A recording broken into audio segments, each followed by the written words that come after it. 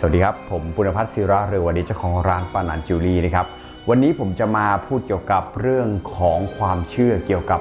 นะเงินพดด้วงนะครับในสมัยกรุงรัตนโกสินทร์ครับ ร้อนเงินของสะสมมีค่ามาเปลี่ยนเป็นเงินสด โทร 0540673303 Line แอดปานัน888 Facebook ร้านปานันจิวเวลรี่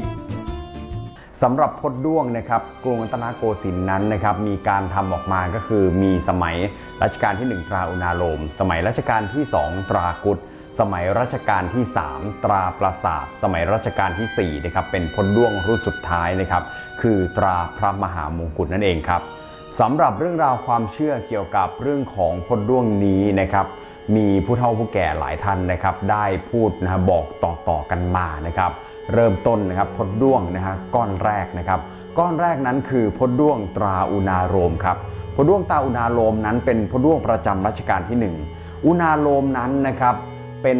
สัญลักษณ์นะครับที่อยู่นะบนหน้าผากของพระพุทธเจ้านะครับเขาก็จะมีความเชื่อนะครับว่าพดด้วงตาอุณาโรมนั้นนะครับจะช่วยเสริมเกี่ยวกับเรื่องของสติปัญญา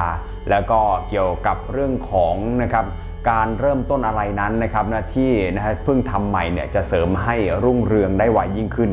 นะฮะสำหรับพดด้วงตารัชกาลที่2ครับพดด้วงตารัชกาลที่ 2 นั้นเป็นตราคุดครับตราคุดนั้นนะครับจะรู้อยู่แล้วว่าคุดนั้นทรงพลังอำนาจนะครับ ก็จะมีเรื่องราวเกี่ยวกับการเสริมหน้าที่การงานนะครับ เสริมบารมีนะฮะ จะเหมาะมากนะครับสำหรับคนที่ต้องการความเจริญรุ่งเรืองในหน้าที่การงานรวมไปถึงข้าราชการนักการเมืองนะครับ ก็จะนะครับบูชาพดด้วง อันนี้จะนะถือว่านะครับเป็นสิริมงคลนะครับ ต่อมาก็คือพดด้วงตราปราสาทครับพดด้วงตราปราสาทนั้นนะครับเป็นของรัชกาลที่ 3 ครับ หลายคนจะทราบอยู่แล้วว่ารัชกาลที่ 3 พระองค์ท่านนั้นคือพระบิดาแห่งการค้าไทยครับ ท่านมีสมญานามว่าเจ้าสัวเลยทีเดียวนะครับ ซึ่ง นะครับนะมีเรือสำเภานะครับติดต่อค้าขายกับจีนฮะในยุคนั้นเราเรียกว่าเป็นยุคที่รุ่งเรืองการค้ามากนะครับจนมีการทำพดด้วงที่เป็นตราปราสาทนั้นออกมาใช้ค่อนข้างที่จะเยอะครับนะเรียกได้ว่านะรุ่งเรืองสุดๆเลยทีเดียวนะครับถึงกับมีเงินถุงแดงนะครับมูลค่านะครับหลาย ล้านบาทเลยทีเดียวนะฮะก็จะเหมาะมากสำหรับคนที่บูชานะครับเพื่อที่จะเสริมดวงในเรื่องของการค้าการขายประมาณนี้นะครับมาถึงพดด้วงรัชกาลที่ 4 นั้นนะครับคือพดด้วงตราพระมหามงกุฎพดด้วงตราพระมหามงกุฎนั้นนะครับคือพดด้วงรุ่นสุดท้ายนะครับที่เป็นพดด้วงหมุนเวียนนะฮะของสมัยกรุงรัตนโกสินทร์ พดด้วงตรามงกุฎนั้นนะครับมีความเชื่อเกี่ยวกับเรื่องของไสยศาสตร์มาเป็นหลักๆเลยนะครับ เพราะว่านะครับนะนะครับสมเด็จพระจอมเกล้าเจ้าอยู่หัวนั้นนะครับพระองค์ท่านนะครับจะนะครับมีความสามารถในเรื่องของโหราศาสตร์ด้วย และพดด้วงนะฮะรุ่นสุดท้ายนี้นะครับพดด้วงตามมงกุฎเนี่ยเป็นพดด้วงที่ค่อนข้างจะมีความขลังที่สุด เพราะได้รวบรวมเอาพดด้วงนะครับจาก รุ่นก่อนๆ ไม่ว่าจะเป็นสมัยสุขโขทัยอยุธยานะครับรัชกาลที่ 1 2 3นะฮะแล้วก็จากนั้นก็เอามาหลอมแล้วตีขึ้นใหม่ เป็นพดด้วงในรุ่นสุดท้ายนี้นะครับ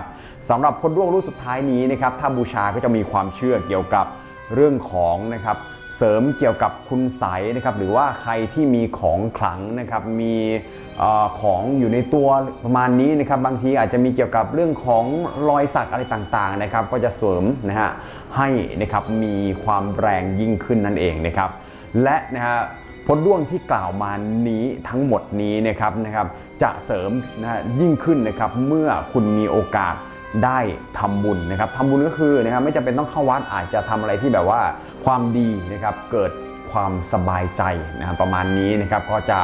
ช่วยนะครับนะฮะ เสริมนะยิ่งขึ้นนะครับ คือจะมีเกี่ยวกับเรื่องบุญเข้ามาเกี่ยวข้องด้วยนะครับ สมมติว่าต่อให้เรามีนะฮะพดด้วงบูชาอะไรต่างๆ แต่นะฮะเราไม่ได้ทำบุญนะครับเสริมไปก็นะฮะจะนะฮะเป็นความเชื่อว่าไม่มีประโยชน์อะไรเลย เพราะฉะนั้นถ้ามีของดีนะครับ ต้องหมั่นทำบุญทำกุศลด้วยนะครับสำหรับใครที่สนใจเกี่ยวกับพดด้วงนะครับ ก็ นะสามารถติดต่อเข้ามาได้ หรือว่าใครมีอยากขายก็ติดต่อเข้ามาได้นะครับใน Facebook ร้านปานันจิวเวลรี่ ทางไลน์ของเราคือแอดปานัน888นะครับหรือว่าโทรสอบถามก่อนได้ทาง 054 067303 ครับสำหรับนะฮะวันนี้ก็เป็นเรื่องราวเกี่ยวกับความเชื่อเกี่ยวกับเงินตราโบราณนะครับที่เป็นพดด้วงเดี๋ยวนะครับเอาไว้คลิปหน้านะครับเดี๋ยวจะมีเรื่องราวเกี่ยวกับเรื่องของความเชื่อเกี่ยวกับเงินตราโบราณว่าจะเป็นความเชื่อตั้งแต่นะครับนะฮะโบราณเมื่อหลายพันปีก่อนนะฮะของต่างประเทศนะครับรวมไปถึงของไทยด้วยนะครับเอาไว้เดี๋ยวคราวหน้าเดี๋ยวถ้าเกิดมีโอกาสเดี๋ยวจะมาทำคลิปนะครับให้ทุกท่านได้ลองศึกษากันนะครับผม